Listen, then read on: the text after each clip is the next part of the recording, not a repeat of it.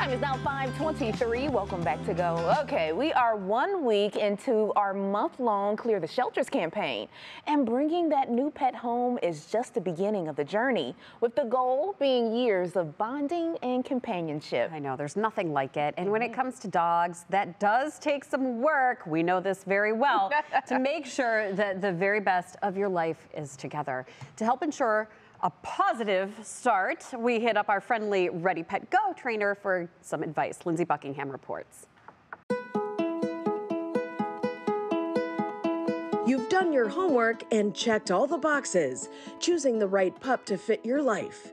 So, what comes next? The answer? A lot of nothing. You want to give them what we call a decompression period. For me, that's about two to three weeks of time. Valerie Ross Smith of Sits and Wiggles Dog Training says that includes no outside visitors, no trips to dog friendly places, or big outings. And take extra care during outdoor time. That's when many new dogs can go missing. So even if you do have a, a fenced backyard and you think it's secure, we're still going to take them out on a leash or have that additional tether.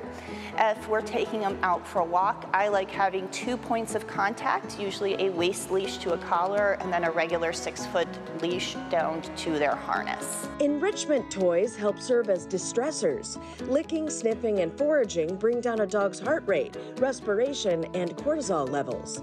And as you get to know your new fur baby, consider some education for the both of you. This is going to help with the bonding. It's going to help learn, help teach you how to teach your dog the manners that you're looking for. At the Sits and Wiggles training facility, they focus not just on basic manners, but puppy classes to teach positive socialization. And socialization isn't just playing with other dogs, but it's also learning about the world around them, learning what a vacuum sweeper is, what a car is, um, and meeting other people. Dogs that don't conquer this can become reactive.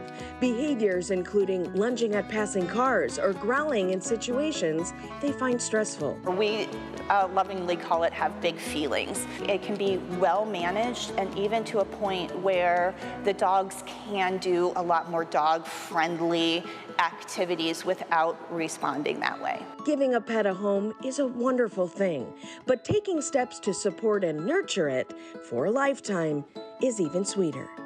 Lindsay Buckingham, 3 News.